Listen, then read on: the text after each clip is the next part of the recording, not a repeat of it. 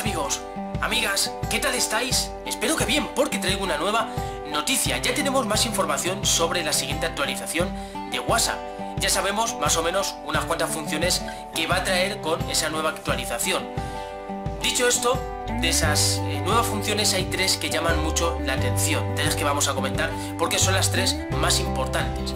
¿Vale? La primera es que podremos diseñar y distribuir de forma muy sencilla GIFs.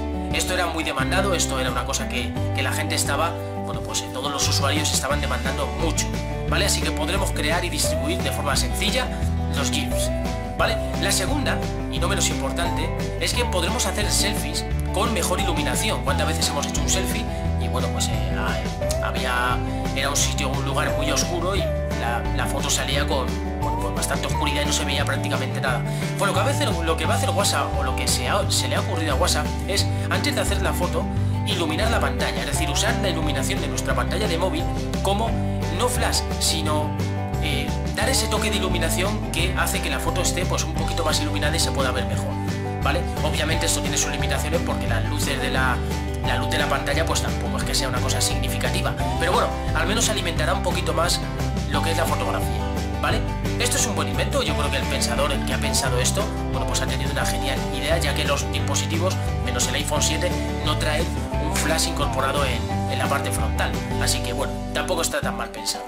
Y la tercera y última que vamos a comentar es que cuando hagamos vídeos, vídeos eh, por medio de la aplicación WhatsApp, podremos hacer zoom en ellos. Podremos hacer zoom, con lo cual podremos, eh, bueno, pues eh, hacer un vídeo divertido haciendo zoom y quitando el zoom o cosas así o simplemente hacer zoom para eh, poder ver lo que hay en la lejanía, ¿vale? Poder grabar lo que hay en la lejanía. Esto es una opción bastante buena también. Bueno, los dispositivos móviles no es que tengan demasiado zoom, no es que tengan demasiada calidad, pero también es algo que se estaba demandando, ¿ok? Se estaba demandando. Y bueno, dicho esto, estas son las tres funciones más significativas que traerá esta actualización que vendrá pronto, ¿vale? No hay fecha concreta, pero vendrá pronto. ¿Ok? Un saludito amigos, like, like suscribirse, nos vemos en la siguiente y ya sabéis que si sale alguna información sobre esto, seguiremos informando, claro que sí. Hala, cuidaros y a compartir. Con Dios.